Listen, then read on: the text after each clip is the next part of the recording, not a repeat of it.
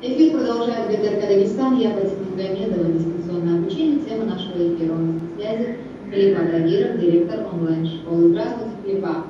Добрый день, Фатима. Рада вас видеть и слышать. Как бы это ни звучало, немножко самопохвальством, но э, тот вклад учителей, который был за этот период э, продемонстрирован и показан, э, я считаю, что э, им надо да, отдать должное, как наши врачи, которые с, э, иногда жертвой собой э, работали в тяжелых условиях, так и учителя.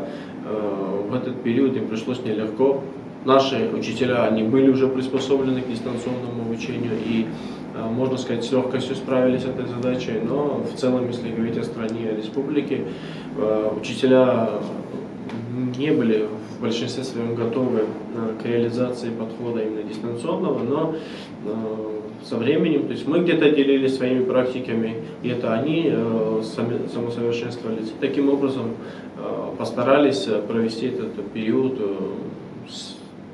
успешно. В целом, э, как э, обстоит ситуация в республике э, по распределению классов? То есть к нам целиком школы подключались зачастую.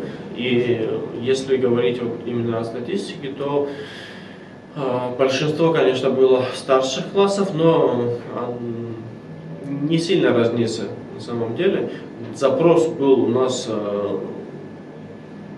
по дошкольной подготовке даже, то есть по начальным классам, потому что родители сейчас хотят, чтобы их дети вступали уже в жизнь такими подготовленными и а, уже сведущими во всех практически областях. Чем мы были удивлены, что в первую очередь э, у родителей запрос э, и учеников запрос идет именно на проверку знаний. Э, мы же себя позиционируем с тем, что мы даем полный комплекс. Есть, есть много платформ, где даются там где-то частичные какие-то материалы, проверочные материалы и так далее.